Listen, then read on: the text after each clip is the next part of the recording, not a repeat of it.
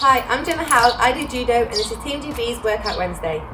Since we're in lockdown at the moment, I'm going to show you some exercises you can do in your back garden. I've had a few too many knee injuries, so I'm going to show you six lower body exercises that I have to do regularly in my training. We're going to do it like a circuit and repeat four times. The first exercise we're going to do is a bridge and we're going to do this 20 times. So I'm going to lie on my back, cross my hands across my chest, and then lift my hips and squeeze my bum cheeks together. If this is too easy, we're going to do single leg, so we'll straighten one leg out and do the same again, and do 10 each side. If this is still too easy, we can add weight, any household object will do.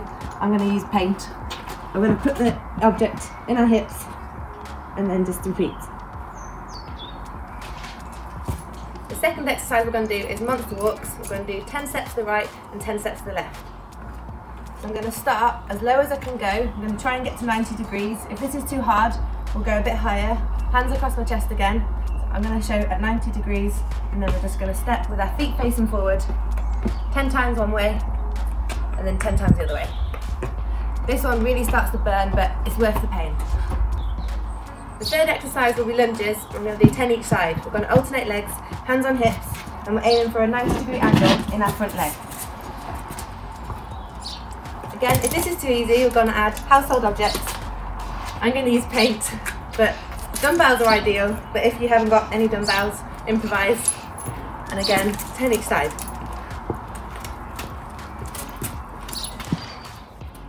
The fourth exercise will be single leg Romanian deadlifts. So we're going to stand on one foot with a slight knee bend, and then with the other leg, we're going to push our heels as far back as possible, keeping a straight leg, and then we want a straight line in our body.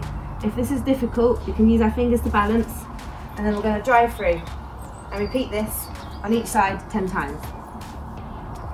Again, if this is too easy, we can add weight and we're going to put weight in our opposite hand to the leg that we're balancing on.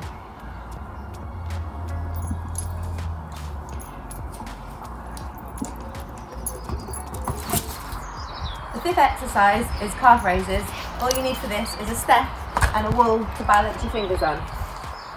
So you're not grabbing the wall, you're just using it for balance. And then we're going to go as low as possible and then as high as possible. Keeping our legs straight.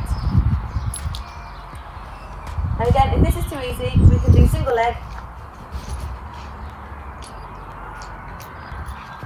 Or we can add weight. So I'm going to put weight in my opposite arm to my leg